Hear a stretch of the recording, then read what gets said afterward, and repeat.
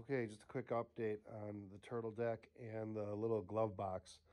Um, I'll tell you ahead of time, I have a really bad sinus infection that turned into a cold. Um, I'm on antibiotics for it. It's just if I can get through this video without coughing, it'll be kind of a miracle. Um, so let me try to make this fast, okay? Um, so this turned out pretty good. I'm going to leave it leave it uh, screwed in while I do some sanding on it. Um, one thing God damn. What one thing that I did I didn't I didn't mention was I put little washers behind the tabs. I did that so I had an out. Um, I did I did trial fit the stabilizer, but in case I wanted to bump that a little bit, um, I put those in there as a buffer, and I put them in here and here too because I figured I knew I want a glove box, okay, and I knew this was going to be tight for that stabilizer. But I didn't know what I was going to do with this hole, and I'm still like undecided. But I'm going to go, I'm going to build a cubby here, okay? And then I'm going to take veneer and go over this to because I'm going to put a bottom piece through here, and that's going to tie it in. Um, and so those little washers, when I pull them out, gives it gives me the room for that thin veneer. That's all that was. I was just trying to think ahead. Um, so I thought, well, how am I going to, you know, oh, I'm going to sneeze on. Ah, I'm good. So I got to, I want to build a glove box in here and, it, you know, I can't have much weight, obviously, in here.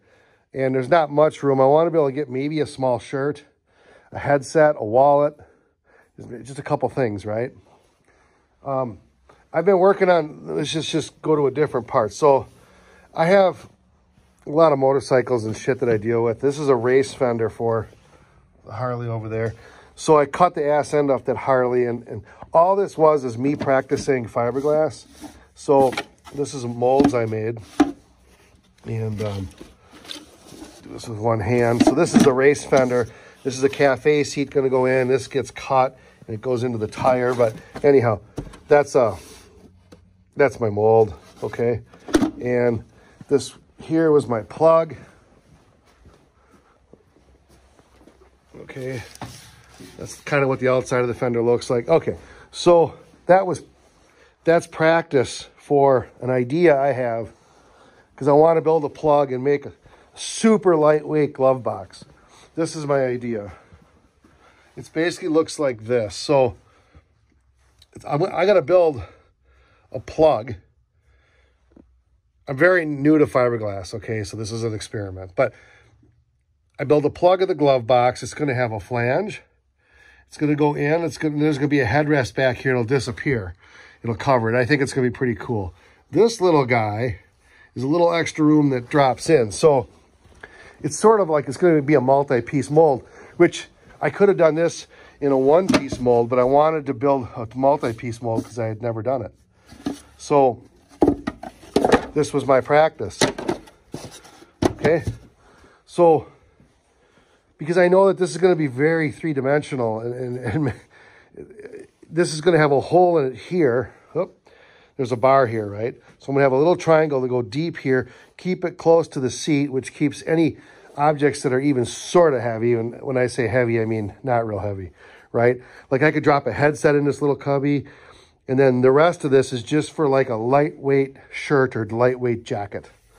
That's my plan. And it's going to come across here, maybe, I don't know, maybe halfway.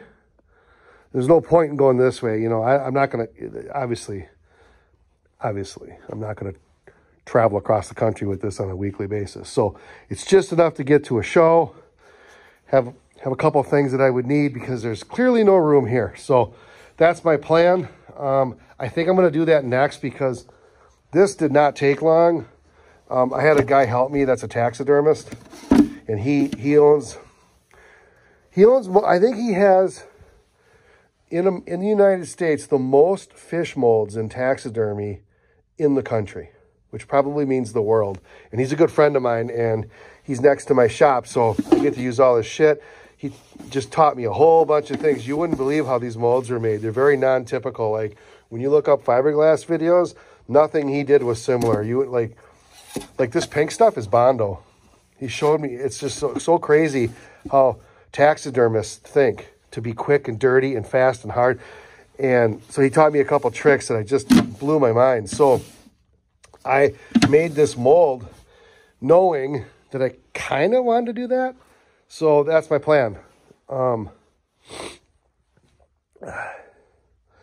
yeah, that's it.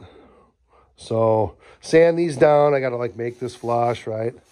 Um, put a little, little chamfer on there and sand, start sanding this. Get this smooth. I got to work this, right? So it's nice. Um, again, I'm just easing back into the building again with some woodwork, maybe a little fiberglass thing, get that thing done. And then I'll probably start hitting the metal. Start fabricating and welding again. Uh, in order to do the fairing strips, I got to build the door, got to build other things.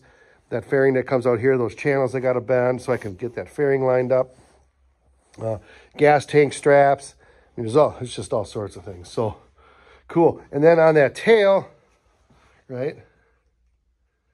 The whole tail I built, right? Well, I still got to do, you know, the wires, the support wires. I got to figure that out. That come through here. I got to finish that fin. So it's getting there. So uh, there you go. So that's it. Have a good uh, have a good week.